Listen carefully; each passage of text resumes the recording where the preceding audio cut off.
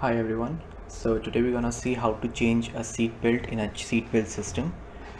As you can see, uh, we have this old seat belt that apparently rats had eaten out and teared it apart.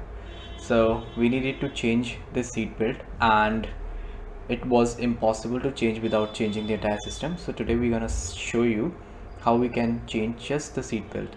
As you can see, we have ordered another seat belt from Amazon and this is by Berger company and this is made in Germany. So the quality is pretty nice and we chose to go away with a red seat belt. And let's see how we can in, include it in our system. It costed us nearly 799 rupees almost 800 rupees. So it's pretty decent for the quality it has to offer it's entirely made up of nylon and it's not a polyester but the quality is pretty amazing.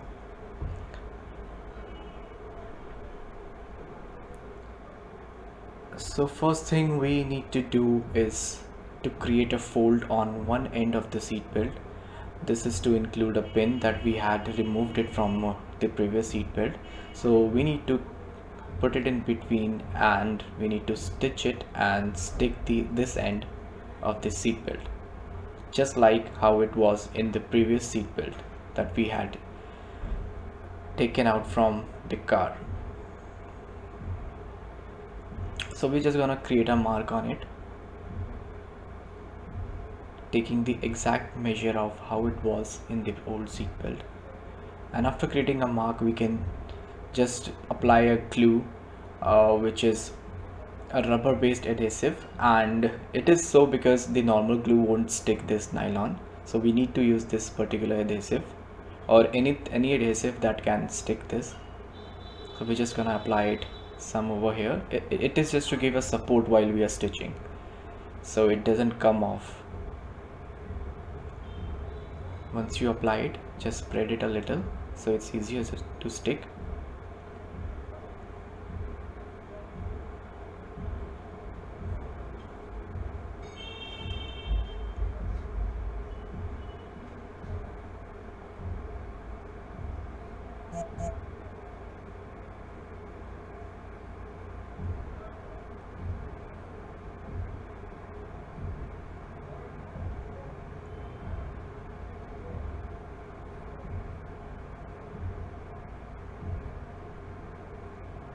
then you can just place the pin in the center and fold it. So it will give you a good grip while you are stitching this end. Now stitching is very important over here. Otherwise it would be very weak joint and it might cause to serious incidents. So please make sure to give a hard stitch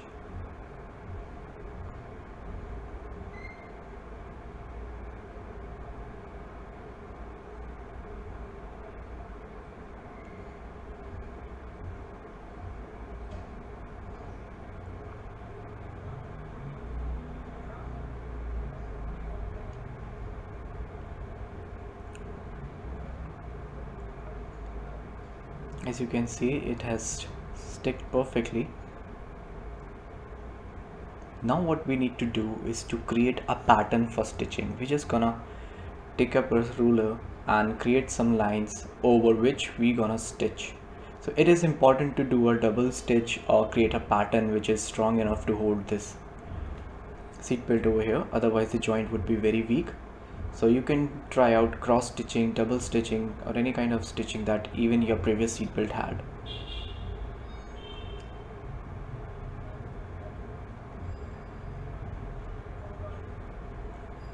Now the seat belt which has arrived it had came with a thread matching the seat belt color and also the button. So it's all it's a good choice that you can order. You can always check up on amazon for further deals which are over there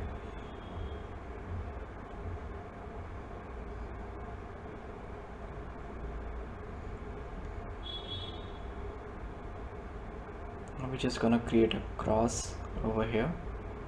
And we are just tracing the lines that we're gonna stitch on top of it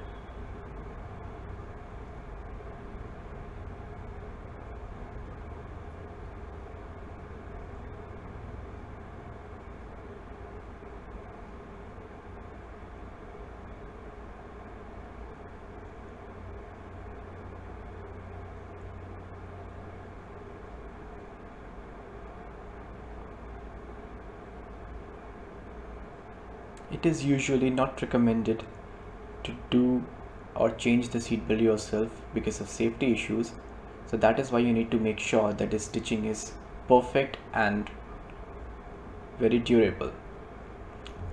This is the thread which came along with it.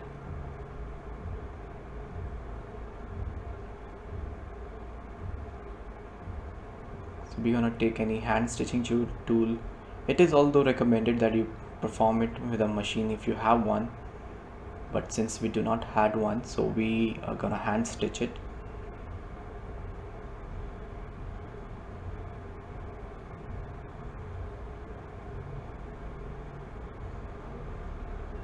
You can also get it stitched by professionals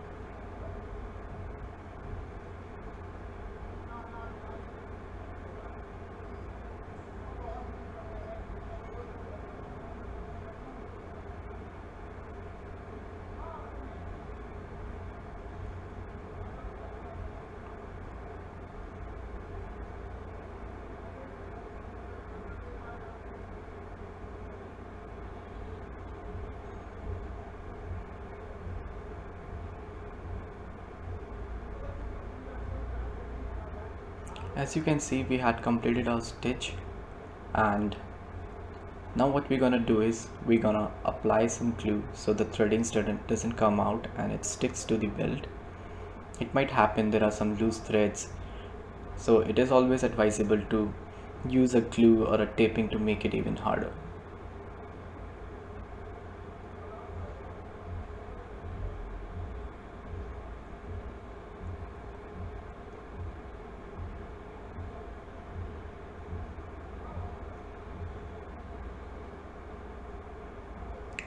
to put a masking tape over it just to ensure the stitches are perfect and doesn't come out.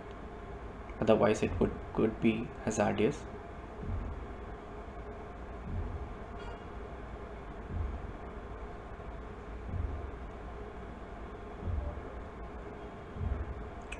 We're gonna do the same on the other side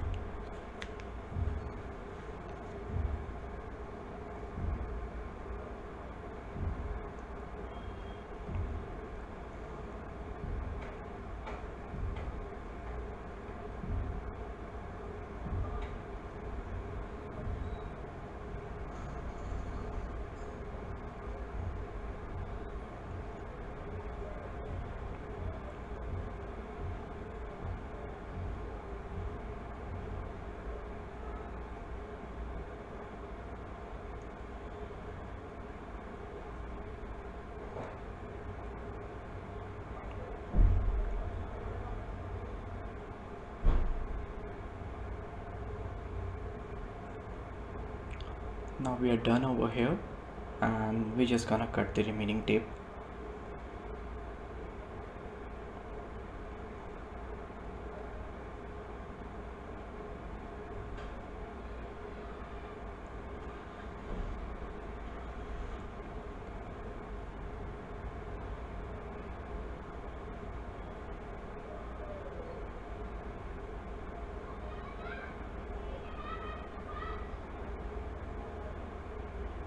this is the machine we had taken out from our car.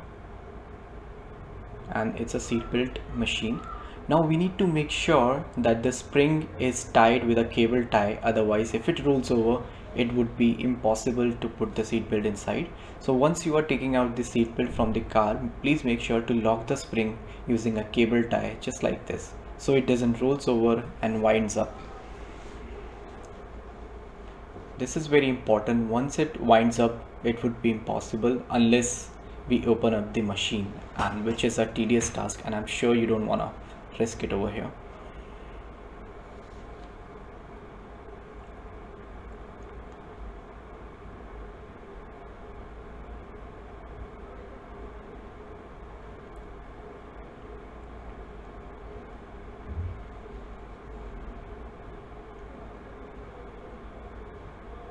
so we're gonna just slide the other end of the seat belt inside the machine.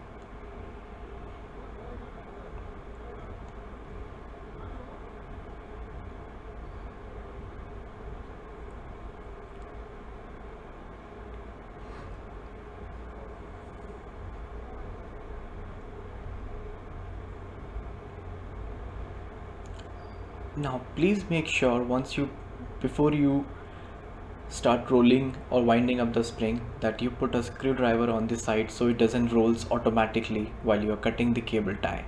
Now this is important otherwise the belt would start rolling inside automatically and the machine would be winded up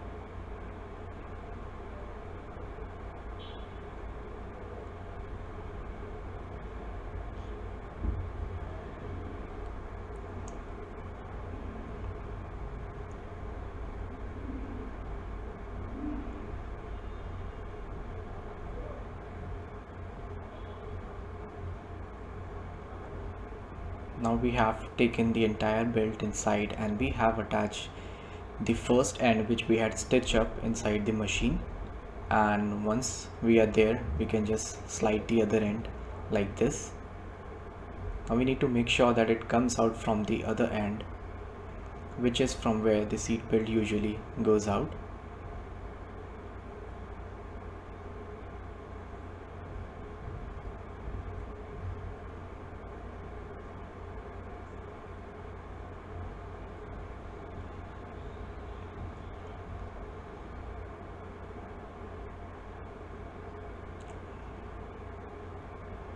once it is there you can take out the screwdriver very slowly and make sure that the machine doesn't winds up and you have to do it manually and slowly. As you can see the seat belt would start wrapping itself in the machine. And please double check that the belt is properly inside before you start winding up. Otherwise you know what could happen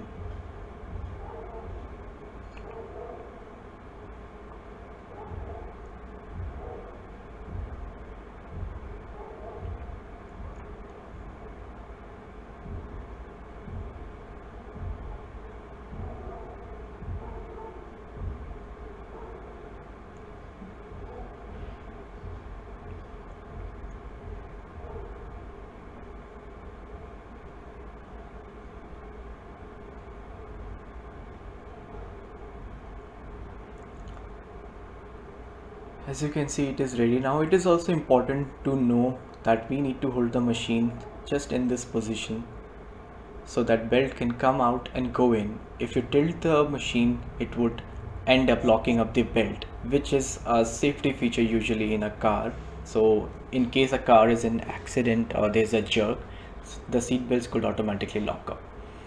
Now this next step we have to do is that we have to take out this hook which is present on the previous seat belt and apply it on the other end of the newer seat belt.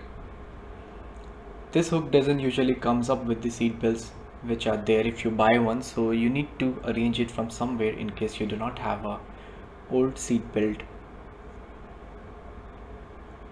So you can just cut out the threading over here and you can keep the previous seat belt on top of the newer one just to trace the marks which are there. So you can get exactly the same stitching.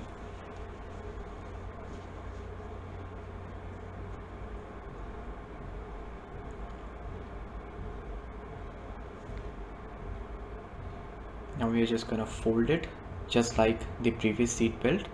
And you can use glue to stick it as well to give it a to make it easier for you to attach it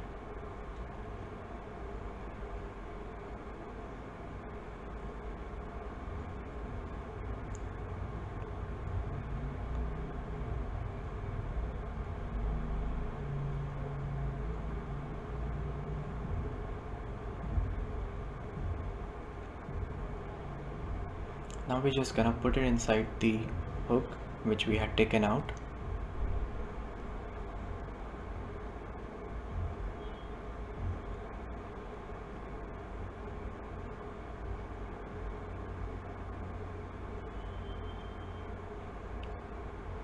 And then we are just gonna stick it with a glue just like we did at the other end. And we create a marking as well where we need to stitch again over here. We had we need to repeat the same process we did on the other side. The markings are taken just a few seconds ago from the other seat belt by tracing it over there. And then we're going to proceed and start stitching as well. And you need to make sure that the stitching is perfect and durable so you do not end up in serious circumstances. Once the stitching is done you can just tape it glue it and then tape it just like we did at the other end. And we can put it inside the rubber which had been taken out from the previous seat belt. It is just an additional protection and you can also stitch it on the holes which are present on this rubber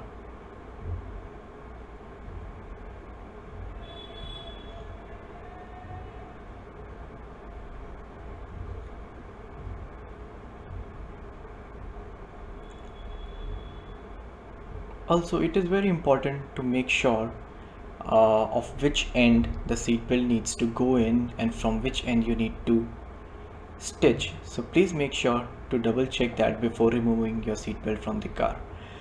Now we're gonna just plug the sensor back in and we're gonna assemble the seat belt back from where we had taken it out